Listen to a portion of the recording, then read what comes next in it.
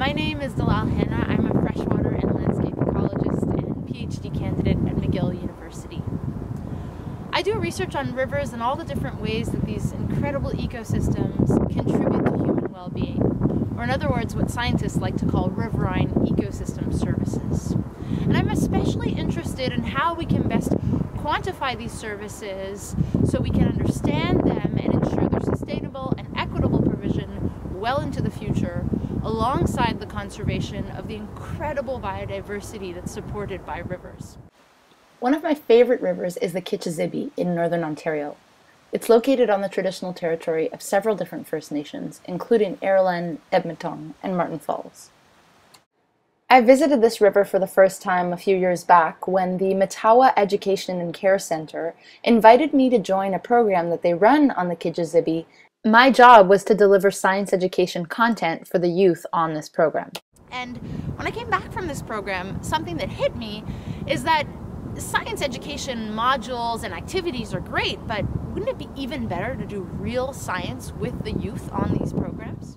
A research project that I thought might be really valuable to do in this region is to collect field data about riverine ecosystem services. I thought that this is information that the nations whose traditional territory this area is on might be able to benefit from in the future to help inform land management strategies. Also, there's actually very little scientific research using field techniques to quantify riverine ecosystem services. And so this type of research is urgently needed to improve understanding of the different ways that rivers contribute to human well-being. And so, when I saw the message about the W. Garfield Weston Foundation Fellowship, I thought, why not combine these two ideas? Why not conduct a baseline assessment of riverine ecosystem services with youth from the Matawa Education and Care Center program? Our first step was to figure out which ecosystem services were the most relevant to measure during our time on the river and what the best ways were to measure them. We decided that over the course of our 185 kilometer, 10 day expedition on the Kichiiziibii River, we'd not only do a lot of paddling, but also collect information about six ecosystem services. We collected information about water quality at the campsites that we stayed at on the river. We documented all the different edible foods that we found over the course of our journey. We collected tissue samples from the fish we caught to document their quality. We measured trees along the riverbank to determine the amount of carbon that they store.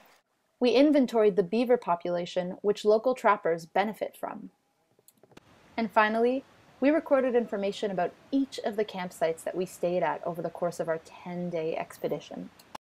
When we returned from our expedition, we sent all of the different samples that we collected to the Lakehead University Environmental Science Laboratory to have them analyzed. A few months later, we came together again as a group to learn how to interpret the data from our expedition and to write a report about all of our different findings.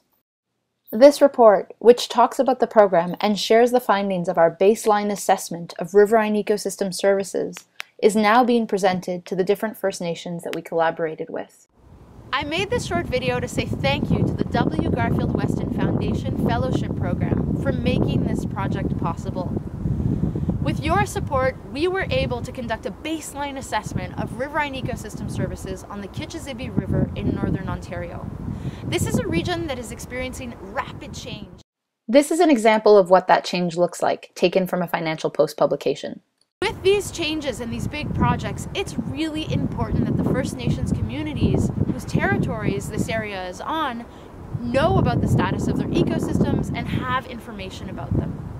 And so thanks to this project, we were able to conduct this baseline assessment about riverine ecosystem services, to relay information back to the First Nations who we collaborated with, to share scientific knowledge with different Matawa First Nations youth and engage them in the scientific process, and moving forward, I'm planning on working on a few different publications. One that will provide guidelines to all of the academic community on how to conduct field assessments of riverine ecosystem services, as well as another that discusses this educational program that we built that we turned into a grade 11 environmental science credit. I want to leave you now with a short video um, of one of the youth that participated in the program this summer singing along the river. I asked him if he was willing for me to share it as part of this video and he said he'd be thrilled to have you see it. So here you have it. Thank you again.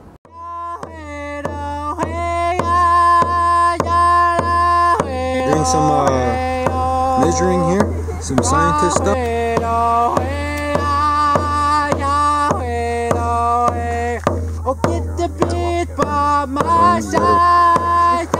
That's fun.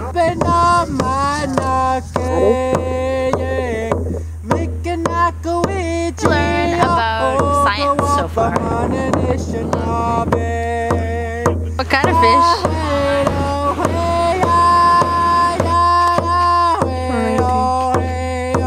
I feel really, really